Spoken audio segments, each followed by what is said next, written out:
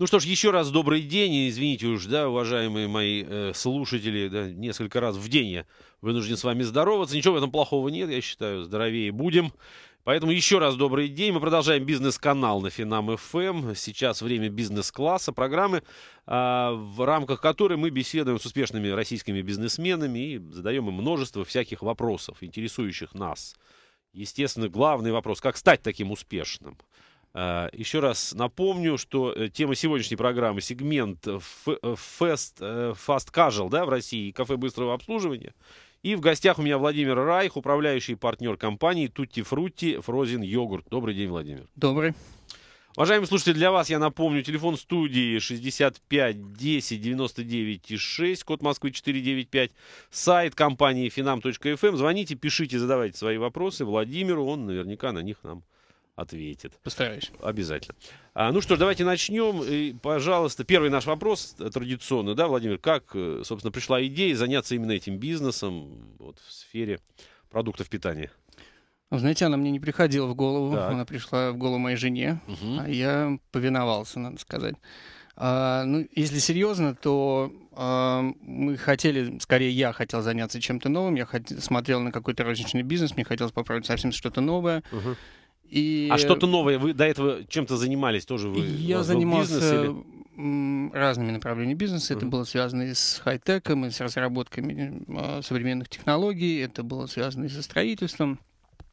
А, но в основном это был, так, так сказать, B2B бизнес, uh-huh. и мне хотелось действительно попробовать что-то новое. А, а, и казалось, что вот, э, розница это именно то, что стоит, э, на что стоит обратить внимание. Uh-huh. Но, естественно, это сложный бизнес, это бизнес, в котором мы ничего не понимали, ни я, ни моя жена, особенно я. Хорошо, начинал. а у супруги откуда идея такая возникла? А мы гуляли как-то по э, в Америке. Uh-huh. Э, в одном гуляли, торгов... как, как-то гуляли по Америке. Как-то гуляли по Америке по одному торговому центру, и стояла милая девушка с подносиком uh-huh. маленьких чашечек, как потом выяснили, это были пробники. А, попробовали по одной. Это был тот самый называемый frozen йогурт, uh-huh. или как мы его называем теперь йогурт мороженое. И э, нам понравилось. Мы зашли. Мы зашли, попробовали. На следующий день мы пришли еще раз, на следующий день еще раз.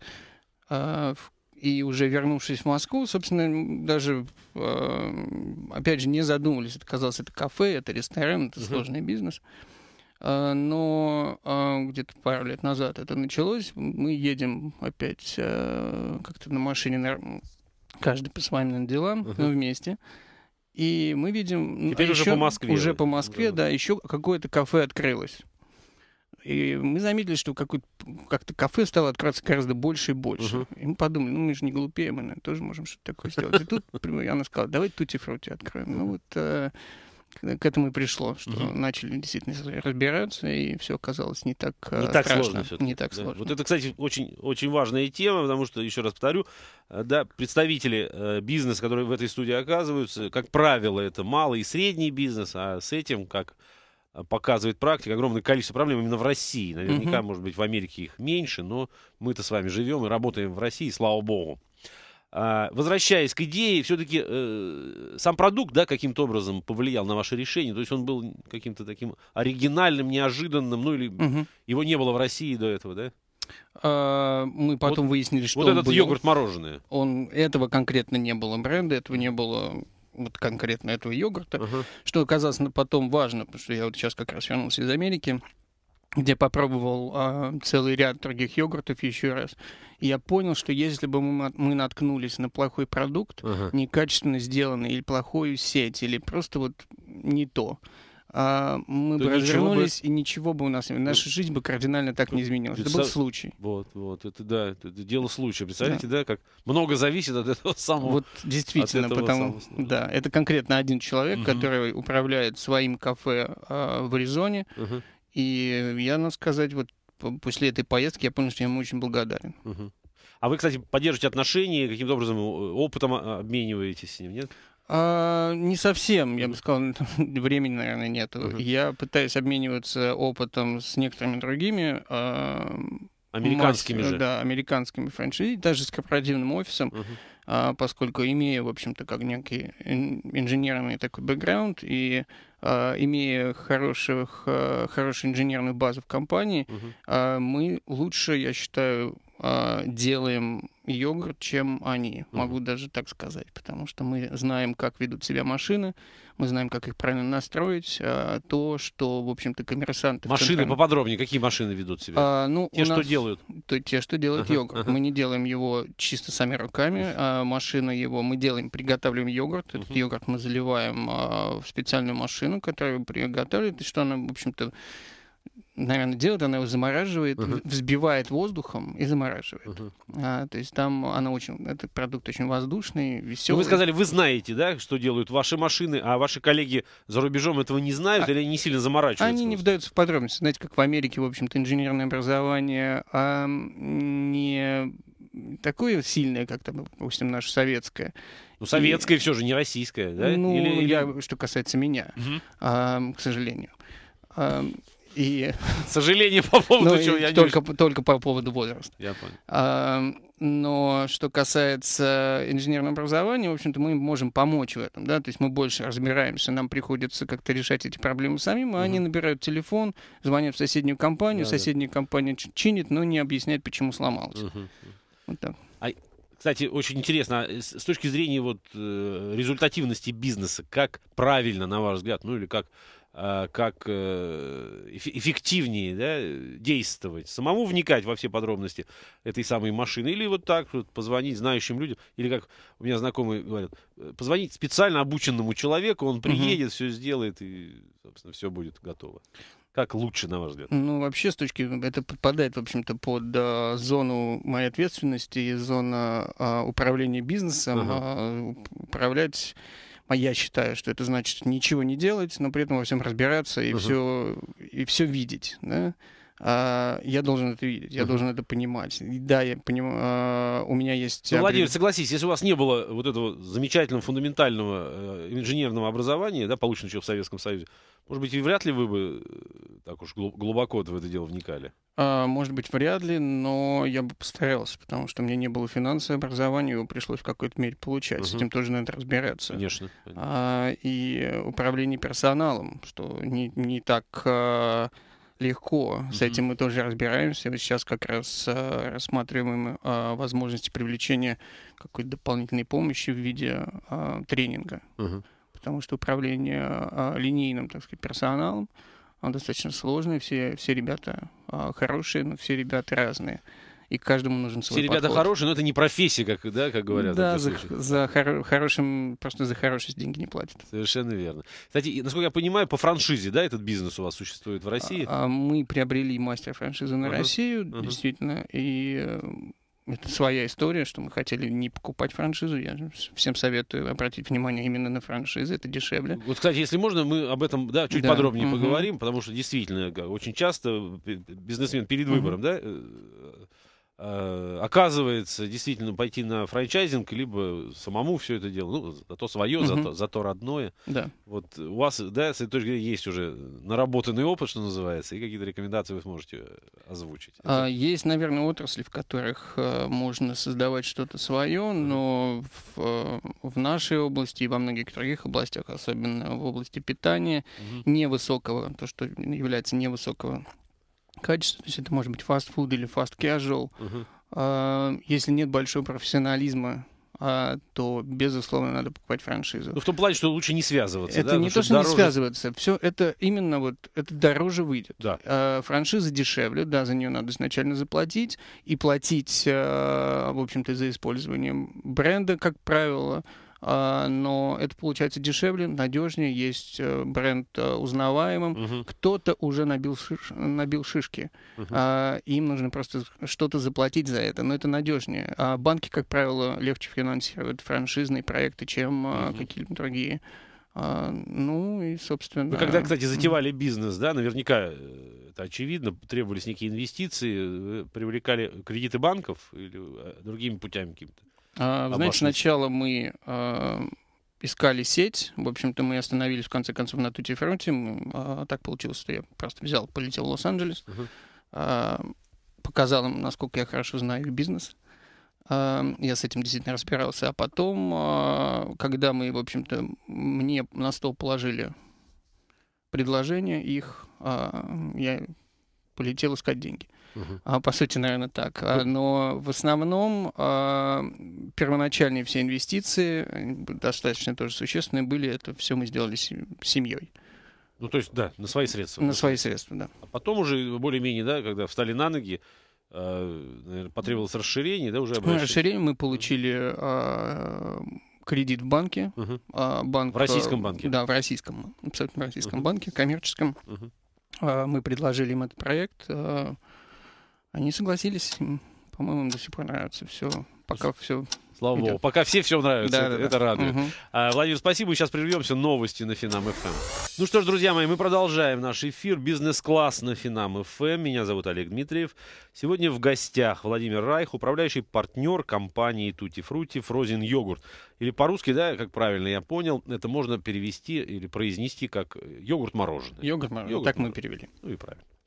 А, Значит, мы обсуждаем с Владимиром сегодня замечательную, интересную тему, тему э, кафе быстрого обслуживания в России. И э, я напомню для вас, уважаемые слушатели, у вас есть возможность присоединиться к нашей беседе. Для этого есть телефон прямого эфира 65 10 99 и 6, код Москвы 495, сайт компании finam.fm. Звоните, пишите, задавайте свои вопросы а, Владимиру. Продолжим нашу беседу. И еще раз я э, уточню, да, потому что мы об этом мы об этом уже поговорили.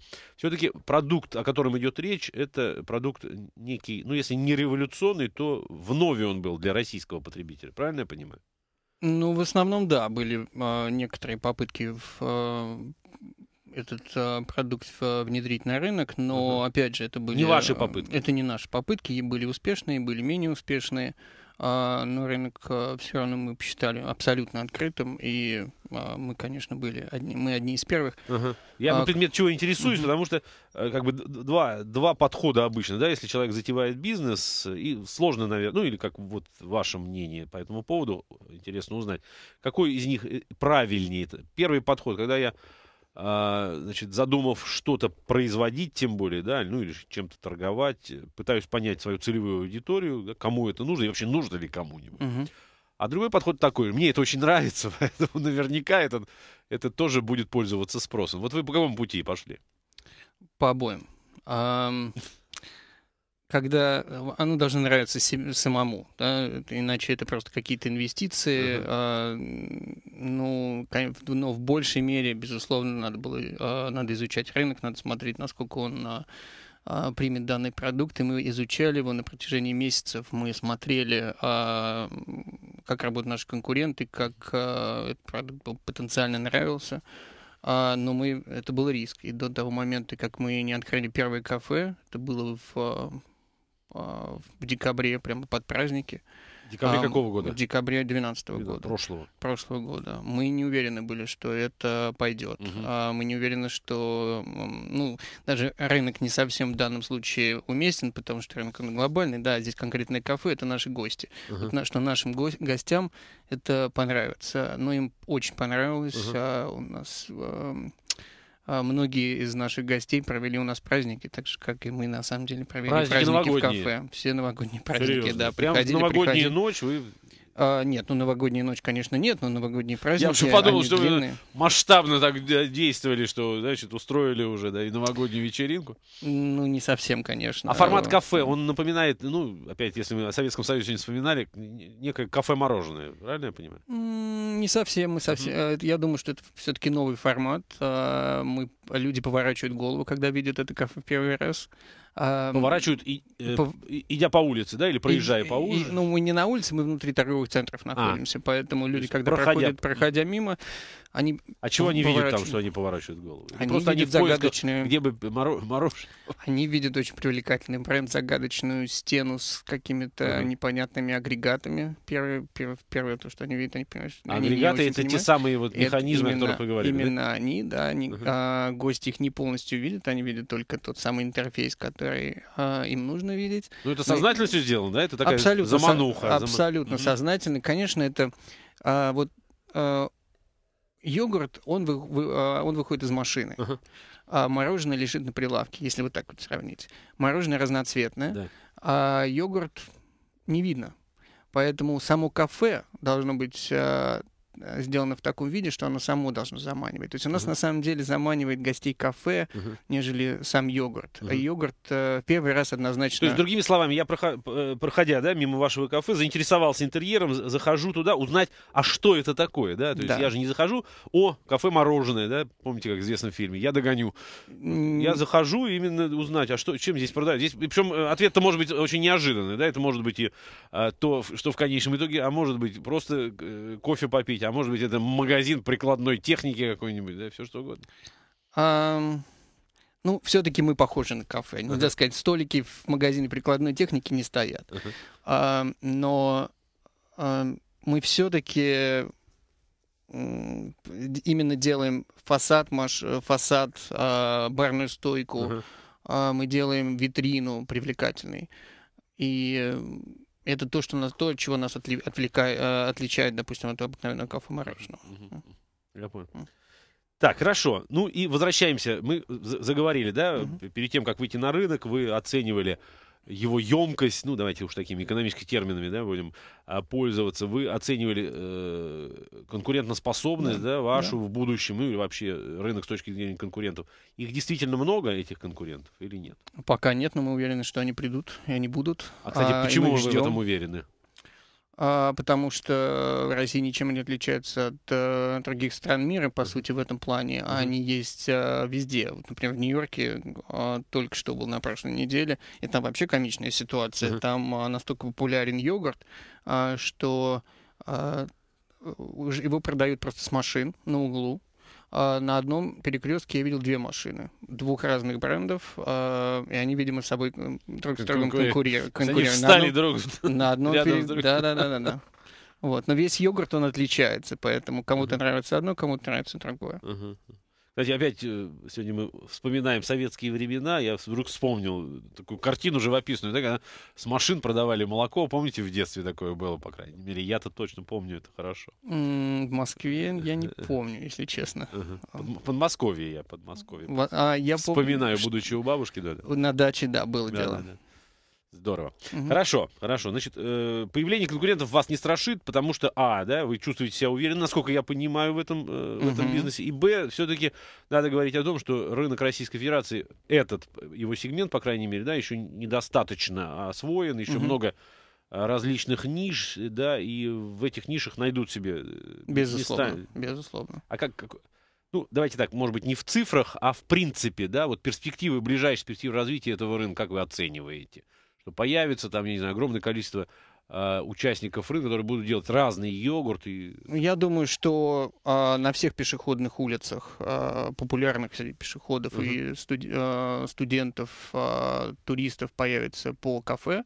В каждом приличном, достаточно большом торговом центре будет по кафе. Мгм. А это не значит, что это будет кафе Тути Фрути, нам, конечно, хотелось бы, да. Но это будет кафе йогурт мороженого. Ам, ну и вот так, я думаю, что в- можно посчитать количество торговых центров. У Мгм. нас есть некоторые цифры. Мы, естественно, для бизнес-плана все это считали. Но будьте уверены, они будут. Я вам обещаю, да, Да, говорит да. Владимир. Да. Кстати, если говорить, вернуться опять к разговору о продукте, вот в чем его такая принципиальная, может быть, особенность, э, если сравнить его с тем, что уже доступно? Почему я, э, ну, я на себя сейчас это поверну, почему я захочу есть йогурт мороженое, а не обычное мороженое? Коего много, кое уже опробовано. Ну, понятно, что, да, я в какой-то момент попробую, наверное, и мне очень понравится до такой степени, Мгм. что ни о чем другом я думать уже не смогу. Ну, а в принципе, да, вот для того, чтобы завоевать этот рынок, ведь какие должны быть, наверное, да, А, преимущества, да? преимущества. Ам, ну, во-первых, это а, низкокалорийный обезжиренный продукт. То есть мы говорим уже с точки зрения здорового питания. Да, здоровое Мгм. питание. Потом там это йогурт. Соответственно, там есть все пробиотики, Мгм. все, а, лактобактерии, которые положительные а, свойства, которые э, присущи йогурту. А, ну и это уникальный вкус. Ну, насколько он Поэтому уникальный? Я, вообще? я вот сейчас попробую даже объяснить. Давайте. Вот, э, в- на самом деле йогурт в таком виде, он появился в 70-х годах, в конце 70-х. И в Америке было а, большое количество таких кафе, еще в 80-х а, годах. Мгм. Они де- действительно было очень популярно.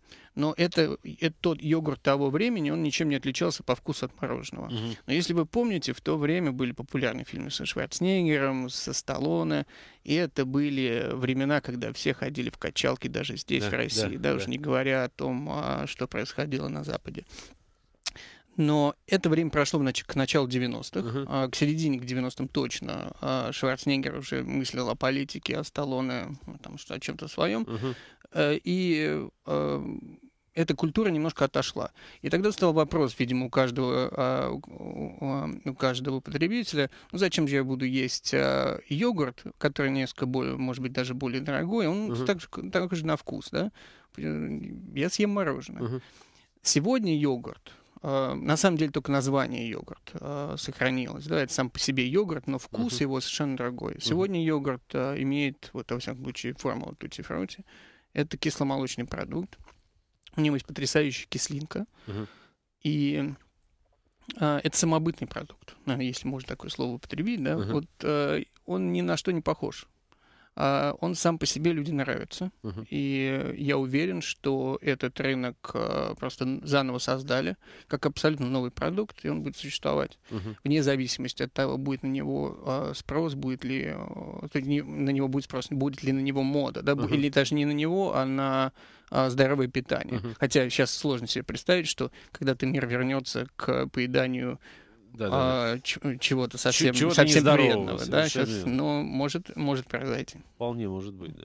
Я понял, да, то есть э, вот эта самобытность, да, наверное, Да, здесь да, да. ключевой момент, именно самобытность. Знаете, люди, когда подходят продукта. к нашему кафе, мы часто даем а, попробовать. Попробовать, да, да. пробник точно так же, как мы когда-то увидели а, в, в Аризоне этот йогурт, мы точно так же людям предлагаем. У них Ага. меняется лицо, глаз, открываются глаза, какое-то Ага. такое удовольствие. Мгм. А, а он вот такой легкий, воздушный, Мгм. ам, приятный.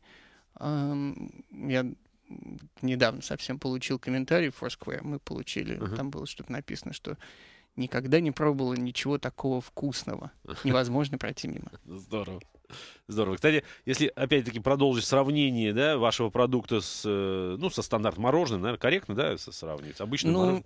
а, Всё-таки- с- рынок это, наверное, тот же, да. Рынок Сегмент, тот же. сегмент рынка, конечно. Ну тот так вот, а, я э, хотел сказать о том, что мороженое в- данном смысле, да, воспринимается, наверное, как а, вещь такая, ну, для удовольствия, да. Ну, ну, понятно, что в определенное время года хочется чего-нибудь холодненького.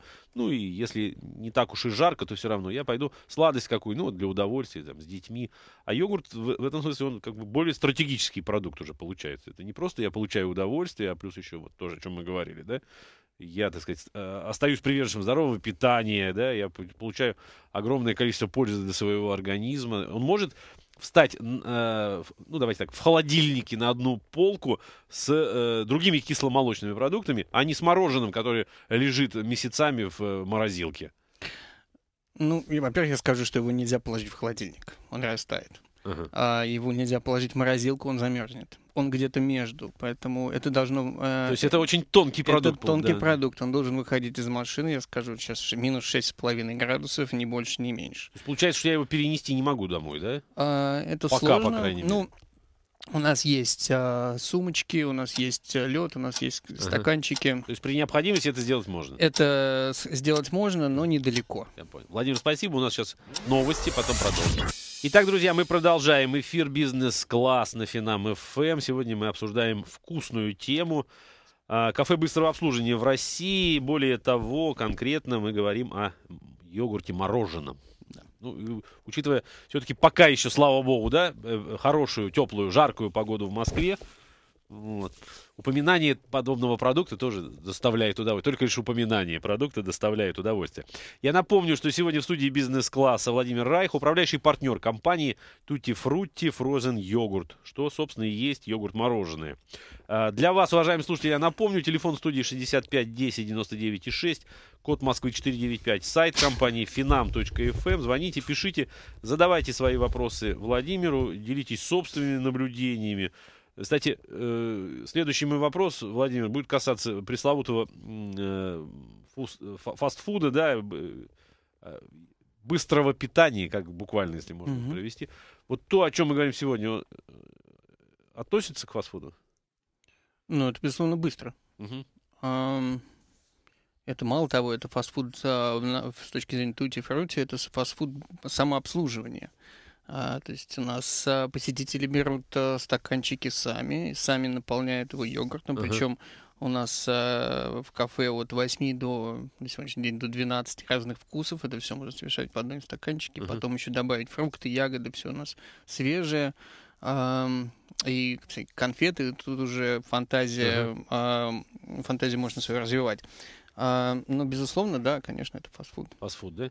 Ну, я просто что хотел подчеркнуть, э, бытует и, может быть, достаточно справедливое мнение, что фастфуд это всегда плохо. Угу. Ну, плохо как минимум для организма, для желудка, потому что все, что да, продают в ресторанах быстрого обслуживания, ну, как-то плохо усваивается. Ну, и не совсем, может быть, здорово угу. является. Мы-то говорили только что с вами, да, что йогурт это как минимум, или прежде всего, это продукт здорового питания. Вот в этом смысле, да, есть, может быть, некое противоречие, и, угу. и вы, ну, я бы фаст... сказал так, гордо сказали бы, нет, ребят, мы, хоть и быстро мы вас, да, да. напитаем, но это вещи разного ну, фа- Фастфуд не обязательно должен быть вредный. Да? Uh-huh. Вот я, например, в Нью-Йорке только что видел очень интересную идею, могу поделиться в прямом эфире.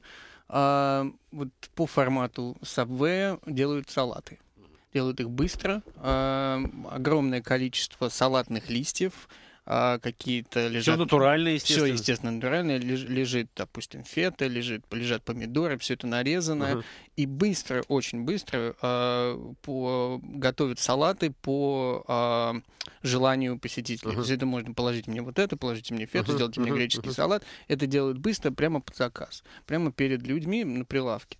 Это фастфуд. Это фастфуд, да. да. Ну, фастфуд здоровый. Хотя, а с другой стороны, а где это есть все? Там есть столики. Там столики, все то же с собой самое. беру, иду на ходу, жую Можно поднести салат. в офис и съесть его перед компьютером. Что будет гораздо вкуснее, да? Да. Ну, может быть, с этой точки зрения э, стоит посетовать на то, что э, ну, потребление пищи, да, собственно, сам процесс питания, он помимо э, каких-то вот, ну, очевидных mm-hmm. вещей, да, здоровые это или не очень здоровые, вредные, он еще, может быть, мне так кажется, требует еще некого самосозерцания, ну, как минимум, спокойствия на определенный период времени, чтобы сел, да, сосредоточился, подумал, тщательно пережевывайте пищу, как нам неоднократно раньше напоминали. Здесь нет противоречия? А, ну, это, наверное, скорее культура потребления ага. пищи. Я думаю, что если сходить э, в дорогой ресторан и быстро это все переживать, а, будет тот эффект, же самый эффект, эффект будет тот же самый. А, но при этом а, все-таки я хотел вернуться к фастфуду. Uh, опять же, фастфуд не весь э, вредный, а есть здоровый. Да? Это, я бы даже не использовал в этом слове термин. Если отойти сейчас даже от тути-фрути, uh, который совершенно, это скорее имп, Э, импульсивная еда, да, ну, uh-huh. это вот приятно, это что-то хочется съесть, да, да ну, да. есть там, допустим, некоторые, а, я не буду называть названия, там какие-то булочки, какие-то... Uh-huh. Бутерброды? Бутер, даже нет, не бутер, десерты, мы uh-huh. все-таки десертное кафе. Uh-huh. Если все это перебрать, ну, хочется десерт, ну, вот, ну, вот тогда есть выбор. Uh-huh. Есть выбор более-менее, а, не более-менее, да, тоже не очень. Это а, в разумных а, объемах, uh-huh. как все должно потребляться в разумных да. объемах, это а, не то, что не вредно, это здорово. А, вот. Ну а что касается самого фастфуда, здесь тоже очень надо быть осторожным. Вот а, я бы не ел картошку. А, Причем в, нигде? В фритюре, нигде. А, угу. Потому что пережаренное масло, это канцерогены, да, это да, действительно да. то, что вредно а, все, что, ну, гамбургер, ну что там, а, Может такого быть страшного. Полезного. Ну, полезного, но не полезного. Uh-huh. Да, но там также есть а, помидоры, есть салат, uh-huh. есть а, какие-то, какие-никакие, но соленые огурцы. Uh-huh. А, хлеб. А, ну, кажется, что что там такого вредного. Но если съесть их а, больш... ну, вот такой большой, да, и быстро его переживать, наверное, ничего хорошего не будет. Я понял, да. То есть опять, э, и, и, э, я бы сказал так, проблема не, неоднозначна, да, она не однобокая. Естественно, да. как и любую проблему надо рассматривать. Всего, все надо потреблять все. Э, в разумных количествах. Совершенно верно. Вернемся, тем не менее, к йогурту мороженому. И очевидно, да, что сейчас вы значит, этот бизнес затеяли в Москве, ну, что логично, наверное, uh-huh. да, потому что и сами вы э, здесь живете, и сами здесь вы работаете, ну, и, наверное, я к чему веду, э, и, наверное, интерес к этому продукту все-таки, да, в столичном городе э, может проснуться раньше, э, чем в городе региональном. Вот с этой точки зрения вы планируете расширяться и смотреть куда-то э, за МКАД? А, мы уже это делаем. Угу. А, в ближайшее время мы рассчитываем открыть а, кафе на юге России. На юге России? На юге России, а, если конкретно в Самаре. А, мы... а почему выбор пал на Самару? А потому что там а, не мы выбрали, не выбрали, да, нам звонят с разных регионов и э, разные люди. Угу. Нам звонили из Дальнего Востока, с самого крайнего севера, из Подмосковья, а, из а, самых южных регионов России, да, отовсюду звонят. А, но а, в данном случае мы просто люди оказались, наверное, более активные, они ага. хотели взять быка за рога и просто ага. открыть. Да, они нас поставили в такую ситуацию, что ну вот как-то купили нас uh то есть с точки зрения Решимостью давайте своей. давайте делать, да, потому uh что в наших планах не стояло так быстро начинать работать в регионах, работать по системе франшизы, uh а, но мы приняли решение, поскольку а вы имеете право, высокий. да, уже от своего имени как да, бы, да, да, мы, мы, мы приобрели вообще эту марку, этот бренд на для, России. для, для, для России, mm-hmm. да, то есть э, мы э, полный обладатель этих прав и можем э, работать с нашими партнерами по всей России. Uh-huh. Ну, я так понимаю, что ваш выбор э, в отношении Самары был исключительным да, э, э, результатом решимости ваших будущих партнеров. Да, и, ну, безусловно. Uh-huh. То есть а, мы могли смотреть, мы, может быть, к чему-то были не готовы, угу. они также были готовы к тому, что мы не готовы. Угу. Ну, и... ну, а с другой стороны, объективно оценивая рынок, э, тот, что за пределами да, э, известных границ, э, рынок в регионах, ведь вы тоже можете, и, и необходимо, наверное, это делать, да, прежде чем обращать внимание э, в, то, в тот или иной регион, э, думать о возможностях этого региона, о том, насколько это может быть э, интересно с точки зрения бизнеса. Вот тот же Таллин Восток. Здесь э, важно то, что это интересно, я не сомневаюсь. Люди в любом живут, регионе. Люди причем. живут те же, да. Вот, например, Тути Фрути есть в Китае. Нам звонили с Дальнего Востока, потому что они видят Тути Фрути в mm. Китае. А, но а, здесь важно, здесь важны наши возможности, да. Дальний Восток, вот, ну вот сегодня это для нас далеко. Mm-hmm. Сегодня у нас нету достаточно а, инфраструктуры, чтобы mm-hmm. это осилить. Mm-hmm. А, но... а Подмосковье? А, запросто. Проще всего в проще, ну, проще всего мы в Москве, Подмосковье уже есть. Ага.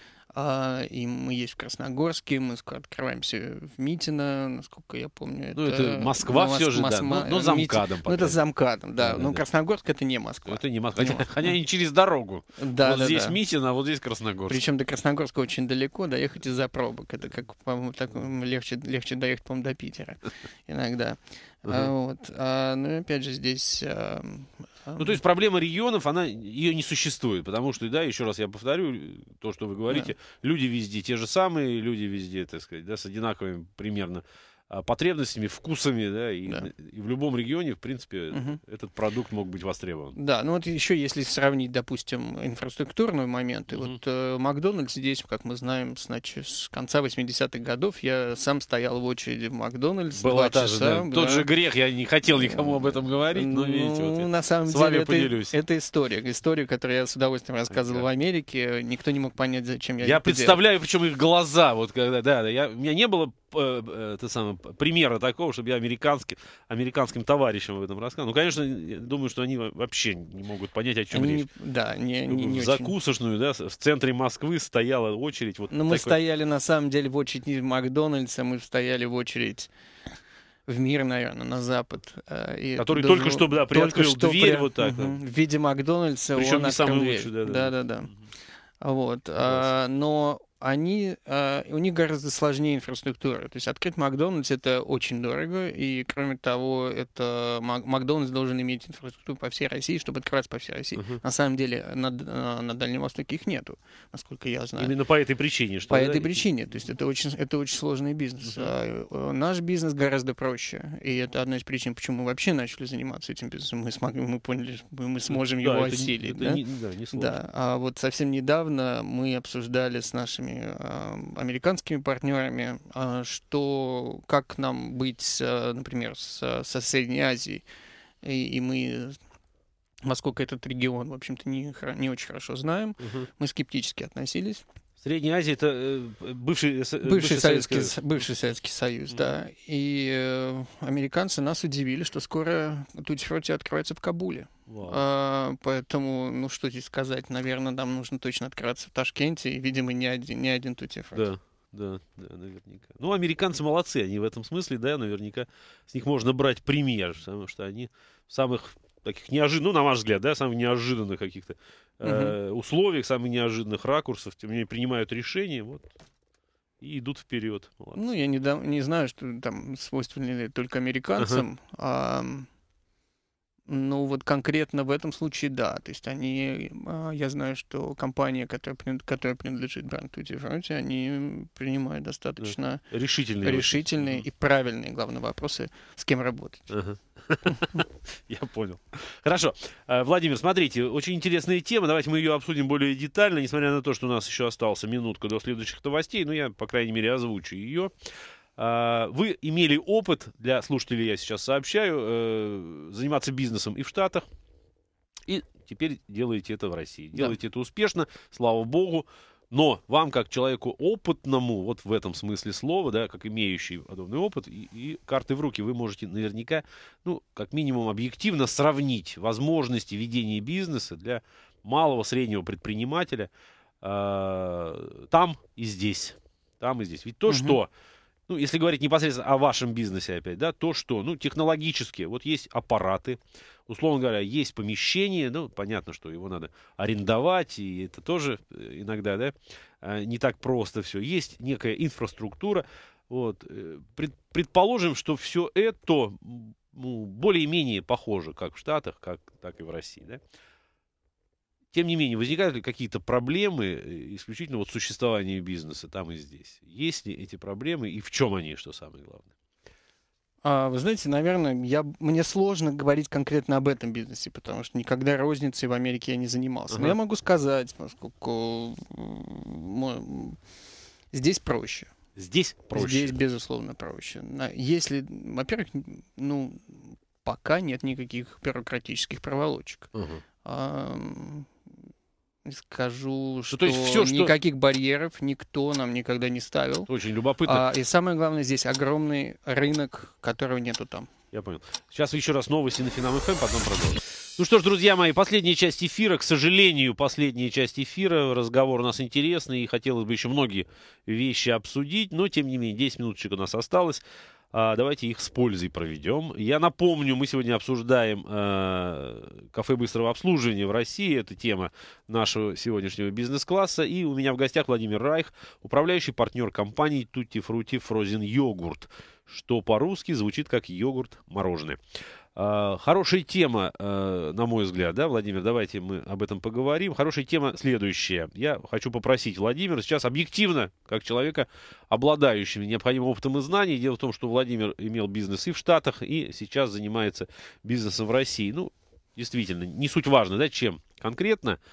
А, так вот, вопрос такой, стратегический. Где сложнее, где легче, да, какие отличия именно вот с точки зрения структуры ведения бизнеса, ну и на ваш взгляд, где лучше? А, ну, лучше, наверное, все-таки где лучше жить, uh-huh. где а, чувствуешь себя хорошо. А, но с точки зрения а, самого ведения бизнеса, наверное, все-таки проще в России, потому что самое важное это возможности рынка. А, какие-то вопросы коммерческие. Uh-huh. Здесь их гораздо больше. В Америке вообще открыть бизнес, найти нишу тяжело. Здесь еще гораздо, ну, просто много чего угу. можно взять оттуда и принести да, да. Много чего при... здесь нет. Просто много чего нету, да, просто можно... Мы же тоже, на самом деле, сильно не напрягались в поиске. А, мы просто а, вовремя увидели, а, поняли и а, принесли. Мгм. Я знаю здесь а, целый ряд бизнесменов, которые именно так а, и поступили, и Мгм. очень успешно себя чувствуют, очень успешно себя ведут бизнес. А, но их возможностей гораздо больше. Найти возможность в Америке потрясающе тяжело. А, там может быть легко вести бизнес, а, но и легко вести бизнес какой? Уже созданный. Мгм. Ам, открыть а, что-то свое, где? Где есть а, потоки. Вот Мгм. если что, если говорить там а, по- потоки людей, Мгм. а, там все места заняты. А, Там а, более-менее там происходит какой-то кризис, начинается какое-то обновление, наверное, там вот в этот момент можно что-то найти. А так очень сложно.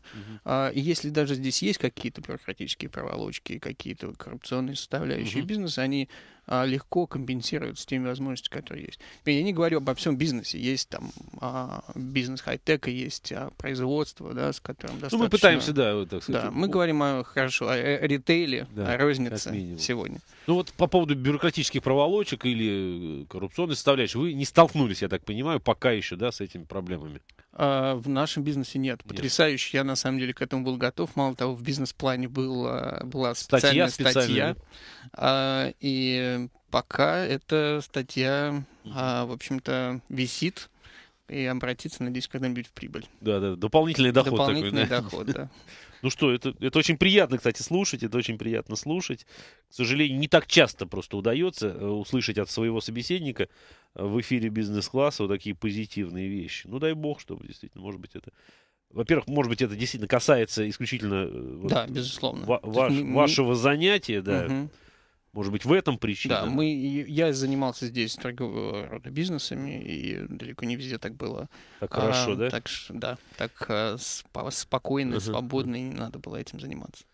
То есть в, этот, в этом смысле тоже, да, вы чувствуете себя э, комфортно э, относительно того, что знаете, да, что вот когда я занимался чем-то другим или много дополнительных проблем, сейчас их, слава богу, нет, и, Конечно, конечно. и это А, здорово. это м, не совсем приятно этим заниматься. Это риски дополнительные, которые нельзя предугадать, потому что они нигде не прописаны, кому Мгм. сколько чего нужно. Мгм, мгм. А, нет законов, есть желание, да, а это значит э, дополнительные риски, расходы. Я понял. Хорошо, давайте вернемся тогда к вашему бизнесу. Мы заговорили сегодня уже, да, говорили сегодня о том, что э, профессионалы, ну, как наверное, в любом деле, профессионалы нужны, профессионалы важны. В вашем случае, да, это тоже вопрос актуальный, вопрос открытый. Как вы подбираете свой персонал, где вы вообще находите специалистов, да, такого, а, такого уровня, может быть, сами обучаете? А, ну, специалистов у нас есть центральный офис, а, где есть Центральный специалисты. офис это то, что в Америке. Нет, нет, нет. А, Центральный здесь. офис здесь в Москве, где мы занимаемся соз- ну, и в- вопросах Управлением. сами управлением, Ага. финансовым планированием. Ага. а, Мы занимаемся маркетинговыми, решаем маркетинговые задачи. Но у нас есть э, ряд точек, сегодня их четыре, в скором будущем их будет э, существенно больше. А, а, И то, тогда нужен персонал. Мгм. А, но с этим, конечно, тяжело. А, В России не очень, пока еще не развита а, культура обслуживания. Мгм. А, Мы хотим, естественно, чтобы наши а, ребята больше улыбались, больше были открыты к нашим а, гостям, Мгм. а, более коммуникабельные. И этому надо учить. На самом деле, большинство ребят, которые у нас работают, они там 18, 19, 20 лет. Их, Ну, по-моему, а, сейчас все 18, 19, 20-летние только и улыбаются. Вот они, может, работать не очень любят и умеют, но улыбаются они во все 32 зуба, нет? Не так? ну, это? если они улыбаются, только не на работе. На работе они, а, э, наоборот, делают вид, да, что вот так тяжело мне, так, такой я бедный, несчастный. Нет, ну они на самом деле, ребят, стараются. Все, каждый, каждый разный, мы пытаемся а, с каждым, Способами. С каждым общаться. Пока, во всяком случае, это удается. По-моему, я пока всех знаю еще по имени. А, я надеюсь, что это будет так продолжаться, но чем больше мы растем, тем, Ну, это конечно, тяжелее это будет. сложно. И это не должно быть так. А, но а, с каждому нужен свой подход. А, Если мы хотим а, построить а, хорошую систему обслуживания, это персонал это Мгм. самое важное, что есть в нашем бизнесе. Владимир, вот на ваш взгляд, вот эта проблема того, что, ну, молодые или не очень, ну, по-другому я это сформулирую, россияне мало улыбаются. На работе ли, вне ее ли? Мгм. Она с чем связана, эта проблема? Ну, во-первых, она есть эта проблема. А, я не знаю, что есть- можно ли назвать это проблемой. Ну, наверное. это ну, культура. Ам, Проблема культуры, давайте так. Я просто к тому, что, опять, если э, Ну. гипотетически представить, вот, что вы таки нашли нишу в Америке и э, открыли тот же самый бизнес. Там Мгм. наверняка такой... с этим проблем не вот, будет. вот. Мгм. А откуда она здесь-то? А, а мы еще не дошли просто до того момента, когда все, все, все улыбаются. да, улыбаются, это на- я не думаю, что в Америку приехали все а, ул- С с, улыбкой на лице. А, она как-то потом появилась. Ага. И эта культура, наверное, определенного комфорта. Не Или- знаю, это, это сложный вопрос. Это, Это не- сложный вопрос, но тем не менее, смотрите, бы- бытует мнение, опять я не э, настаиваю на его пр- правдивости, но тем не менее мнение такое, что даже улыбка в Америке, она фальшивая. Она на показ, она для того, чтобы действительно вот э, какую-то задачу свою решить, ну, как правило, такую исключительно материальную. Даже пример э, о котором мы сейчас говорим, вот пришли- пришел я в кафе в Америку, там все улыбаются. Они за- зачем улыбаются? Они не потому, что они мне улыбаются, потому что они хотят продать мне йогурт. А, лучше Что в я этом буду плохого, смотреть да? на улыбчивое лицо, чем а, Ну, нет. Плохого А, в этом ничего. Во-первых, это в этом ничего нет плохого. Мгм. Во-вторых, э, потрясающий сервис в Америке, который лучше, чем в Европе, однозначно. Он, Мгм. в частности, а, крутится вокруг вот этого отношения, этой улыбки, и во многом, как правило, очень часто Мгм. она на самом деле настоящая. Искренне все. Искренняя улыбка. А, может быть, она не совсем искренняя в Нью-Йорке, но Нью-Йорк не Америка. А, и э, вообще в Америке вас рады видеть. Да? Они действительно рады, к ним пришел посетитель. Я сейчас это ощущаю на себе, когда ко мне приходят гости в кафе, да, и Мгм. часто я нахожусь в том или ином, а, в том или ином кафе, я рад. Я хочу улыбаться. Мало того, иногда эту улыбку приходится скрывать, потому что, ну... Ну, она- подумают еще, ты а, да, она смеется над нами, мы ну, пришли. она как-то глуповато выглядит иногда. Нет, ну опять-таки можно вас понять, вы улыбаетесь, потому что к вам пришли посетители, вы сидели и ждали. Ну, так и в Америке также. А, они рады. Мало того, ну вот когда я помню первый опыт попадания в Америку, наверное, это вообще другая передача. Это мы Аризона, а, на улице 45 градусов. а, мы идем в свитерах, поскольку наш багаж потерялся, это там 90-й год. Мгм. А, и ну, по улице никто не ходит. А если кто-то и В ходит, такую-то в погоду. такую погоду, мало того, там нет тротуаров. А если ходят, то это то люди будут улыбаться. Мало того, улыбнуться, спросят, как у нас дела, а мы не Бенниме. А, но они улыбались, и мы на это все смотрели, конечно, а, диковато. Ну и ощущение такое, да, что вот чувствуешь себя каким-то идиотом, да, еще люди навстречу ходят и, и- и смеются надо мной, и хорошо еще пальцем не показывают. Ну, Нет, не такое это- ну, ощущение? это- Ну, я уже не помню, какое там было ощущение. Была жара 45 градусов, это я точно помню. Не до ощущений, действительно, в такую жару. И наш багаж потерялся. Так, так и не нашли его? Нашли. Слава богу. Ну что ж, Владимир, э, осталось немножко времени у нас. Давайте о неких перспективах ваших личных. Естественно, будете вы расширяться, это я уже понял. Может быть, вы э, диверсифицироваться будете. М, Сейчас Хотелось с бы, этим делом разберемся, с Мгм. йогуртом мороженым, конечно. и займемся чем-то еще. Есть такие мысли? Ну, есть какие-то личные цели, Ага. есть а, цели, которые связаны чисто с компанией. Компания, да, это свой собственный организм, который дышит а, без меня и должен дышать без меня. А дальше этому организму надо развиваться. Кстати, мне понравилась ваша фраза, да, вы говорили об управлении. Вот Мгм. настоящий управленец это тот, кто ничего не делает, но при этом все работает. То А, есть ну, вот не- его оно ничего да- не делание, это все-таки, да, вещь такая, э, я бы Ну, сказал, она относительная. да, ну, ну, конечно. Это вещь такая внешняя. Вот я со стороны смотрю на вас, да, и восхищаюсь. Вот он ничего не делает, целыми днями он ничего не делает. Как же он такой успешный-то? А Мгм. на самом деле не все так просто. Потому что за внешнее это ничего не делание есть огромная, я бы сказал, ежи- ежеминутная, да, ежечасная, кропотливая работа. А, работа и приходится думать очень много, смотреть за этим всем и думать, и корректировать действия а, своих а, коллег, сотрудников. У вас жесткая вертикаль, кстати, в вашей управленческой? Нет, а, вертикали, по идее, не может быть. А, Каждый должен принимать свое реш- а, в своей зоне решение сам. Мало Мгм. того, у нас существует система, или мы пытаемся устроить, не забывайте, мы все-таки молодые, каждый не надо ко мне бежать, да? Ага. то есть надо решать проблемы самим, самим собой, принимать решения. Мгм. А даже если это решение неправильное, мне нравится инициатива. Мгм. Вот, э, да, ну там до, до банального. Я вижу, что ну, ну, не, ну не надо было здесь сделать отверстие. Но ведь сделал, взял на себя ответственность. И знаю, почему взял. Почему? А, потому что он хотел это сделать сегодня. Потому что Ага. если мы сегодня не запустим какой-то агрегат... То есть он не мог а, просто с вами связаться и согласовать это отверстие и решил взять... а, Ну, это да, может Мгм. быть, это было сложно. Я помню, вот какой-то такой момент был. Но я знаю, что если кофеварка не установится, Мгм. он знал, что если кофеварка сегодня не поставится, значит, сегодня мы кофе не будем продавать. Мгм. А я ему четко сказал, незаработанные деньги это потерянные деньги. Это абсолютно верно. А, и, соответственно, он сделал это, он сделал немножко не так. Ну ладно, но сам мне больше нравится инициатива. мгм. Хотя я добавлю, что а, причиной да, того, что дырка оказалась не в том месте, был бы еще мог бы быть непрофессионален. Просто это не профессионал. Он не знает, где дырки сверлить или как сверлить. Но это не его а, зона ответственности была на, тот момент. А, мы просто, ну, могли подождать еще несколько дней. Потеряли бы деньги. Ну, не, ну, не страшно, дырку можно заделать, про- просверлить. Просверлить в другом месте, Да, в конце да. концов, да, это не проблема. Я сказал бы, я бы, я а, за проявление инициативы ам, я бы не ругал. Ага. А, лучше как-то это обойти. И, ну, здесь надо быть очень осторожным, потому что думаю, слишком много инициативы может привести тоже Да, да, и к мне. Совершенно, потому что мне сразу же, я вот вас слушаю, и сразу же пришла другая э, известная идиома а, в голову, что инициатива наказуема, поэтому, ну, ее лучше эту дырку я просижу, подожду, Ни когда... в коем случае.